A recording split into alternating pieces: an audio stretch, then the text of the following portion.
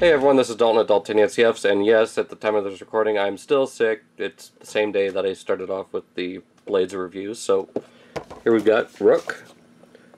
He is very nice looking. Got the comic right there. Again, that Protectobot blue. Comes the right arm, or left arm of, of wow, Sam Bruticus, of Defensor, but I'm going to have him as the right leg. We'll see more of that when I do get Hotspot. And we've got him here, nine steps. It says here, if you need a rescue deep behind enemy lines or deep beneath battlefield rubble, Rook can get, get it done. His Durabilium super alloy armor can withstand punishing blasts and hold up under crushing weight. And his vast tactical knowledge can get him out of any jam. So there's that. Let's get this guy open and go from there. Okay, and here we have Rook out of his packaging.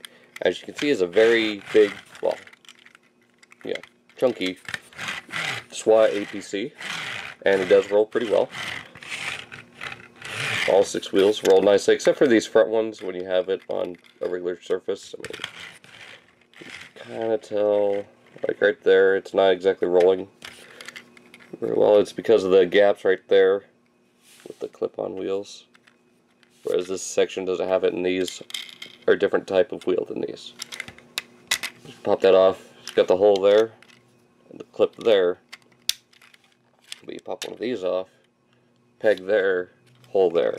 So, just thought I'd point that out. You also got some nice paint apps right here. It says please. Got your gas cans, or, you know, diesel cans or whatever they are.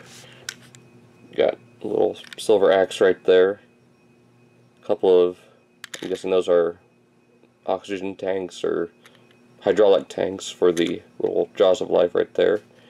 Not a lot of nice paneling and little hatch details. You got that there. You got a door right here. Nice yellow headlights. Some windows molded in, or painted in.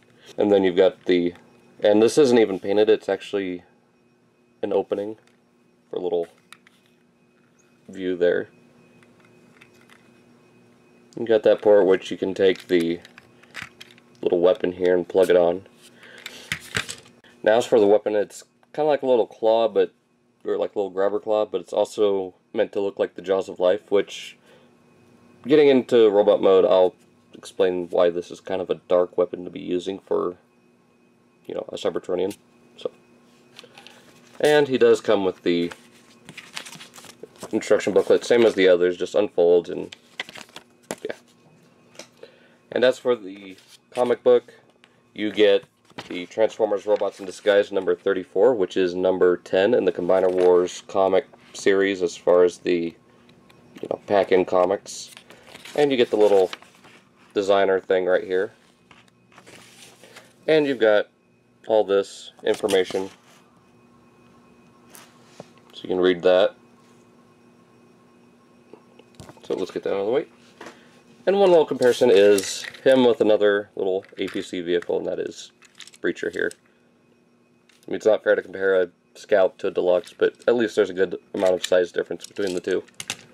Now, transformation is fun and simple, just like all the Combiner Wars figures. So about here. Want to pop this up, bring it back to about there. Want to untab these sections here, and fold those down and out of the way. Those will become the arms. Flip this up, that'll become the head rotate this up and it'll just double hinge into place. Rotate these feet up they're also on a double hinge. To split the legs apart. And again another double hinge into place. Straighten out the arms here and rotate the head around. And there you've got Rook in robot mode. And he does look really good. I mean compared to the others he's big he's bulky it just wor works really well in my opinion. Uh, one thing I do want to point out is, well, I'll get into it in a minute, but going on to the head mold, it is a nicely sculpted head. Has kind of an, a Russia Ushanka, but it's also got this little bar right through the middle, so I don't know what's going on there. It's supposed, is it like a helmet mixed with a Ushanka, or, I don't know. But I do like it, I like how they have the Autobot symbol. I do like this these blue paint apps here on the chest. And the wheels on the chest are pretty cool too. One thing I wish is if this was molded in black plastic, it just, but I do like that it breaks it up. So, as far as articulation goes, and actually before we go into that, the fists are molded to where there's a cannon on the front. We can also plug this in, just like so, so we can use that. Okay, going on to articulation, I'll talk more about this. Head is on a ball joint, rotates around and crazy. I do like the silver paint apps on the face and the little tiny blue eyes. Looks really good. He's kind of got a kind of a scowl going on. He's also got big ball jointed shoulders. You can also rotate these back for extra shoulder movement, so kind of like a shoulder blade type thing. Rotates here at the bicep, bends uh, just a little over 90 degrees at the elbow. Nothing at the wrist, obviously. Rotates 180 at the waist, which is pretty tight. And let me... Hips are on a ball joint, and the only thing I don't like about how this is done is the thighs are really thin. I wish they could have done a little bit better with that. But they are on a ball joint. They do swivel. And he bends 90 degrees at the knee. He also has ankle tilt, which none of the other deluxes, and I don't even, yeah, none of the Voyagers have them either. So I'm actually surprised about that. And you can also articulate the foot to where it looks like it's got a little bit of a forward tilt, but not bad. And kind of upset about the hollowness, but I am okay with it with how the transformation works. And of course you got the backpack, which it works as kind of like an armor plating for when he's going to rescue someone in case a building explodes or something. Also, really nice Tampographed Autobot symbol, just stands out really well and nice and shiny. Now, onto the weapon. What I think is really dark about this is, since it's the Jaws of Life, it works both ways. He could use this to lop off someone's limb, or shove it in one of their chests, rip it open, and rip out their spark. If you think about that for a Protectobot, that's kind of dark and twisted. I like it.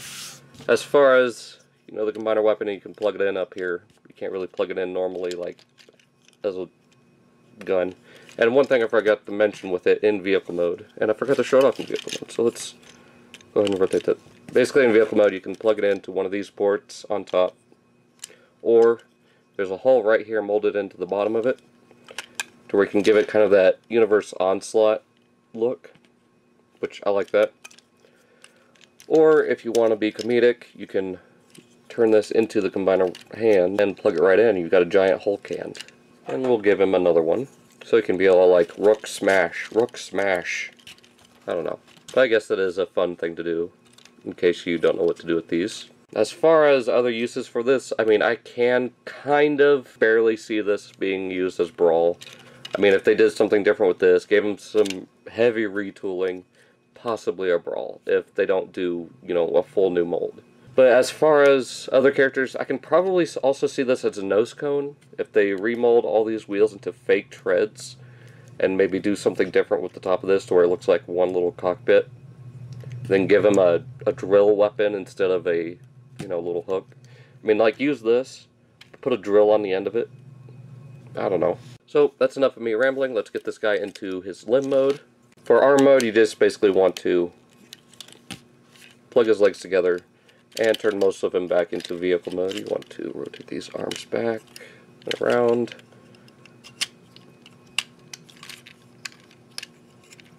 Just like so on both arms. And you rotate this up to where these little tabs right here will plug right into those little slots there on the shoulders. Just like so. Rotate the head around and that will plug away there. And you've got plug that into there.